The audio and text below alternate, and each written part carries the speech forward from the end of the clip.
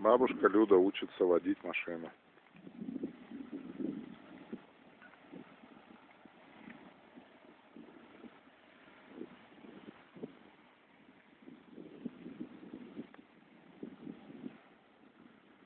Очень неплохой поворотик.